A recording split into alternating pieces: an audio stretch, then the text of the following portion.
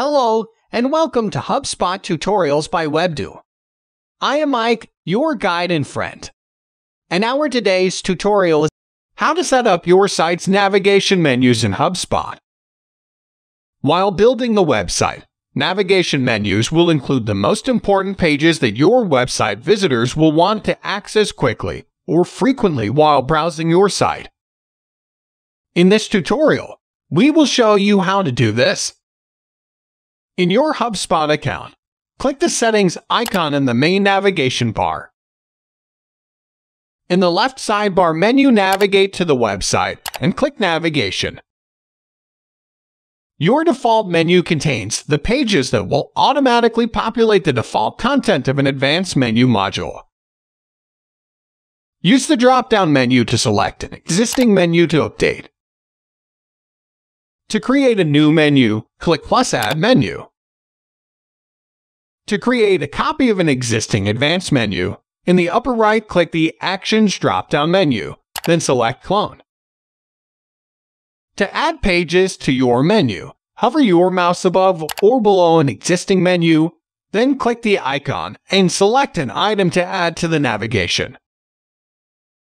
You have the option to choose from the options Add item without a link, Add page link, Add page link with URL parameter, or Add URL link you can also add a menu item by hovering over the right side of an existing item and clicking the Actions Add Item below. Give your menu item a name in the menu item label. Choose a HubSpot page or enter URL for this menu item if you want it to be linked. If you want this menu item link to open in a new window, hover over the right side of the menu item. Click the Actions drop-down menu and select the Open link in the New Window checkbox. Click a menu item label and drag it into position to reorder your menu items.